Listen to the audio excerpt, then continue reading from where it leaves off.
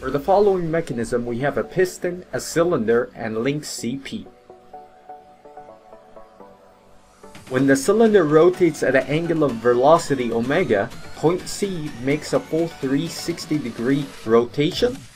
And we can also note that the cylinder moves vertically upwards and downwards and returns to the original position. We can find the instantaneous center of zero velocity for link CP by looking at different positions. At this position, we have a velocity vector at C acting tangent to the path upwards, and for the piston at P, we also have a velocity vector acting upwards. Now we can draw a perpendicular line to the velocity vector at C and a perpendicular line to the velocity vector at P.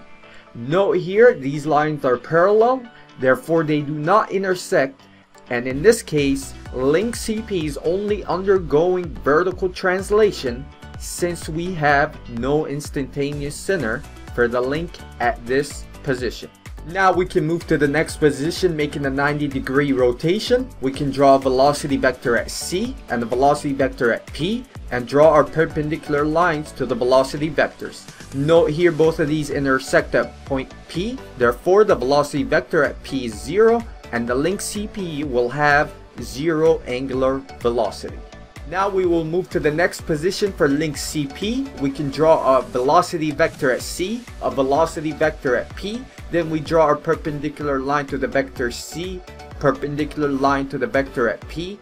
Then we know both of these intersect at some point. And this will be our instantaneous center of zero velocity for the link.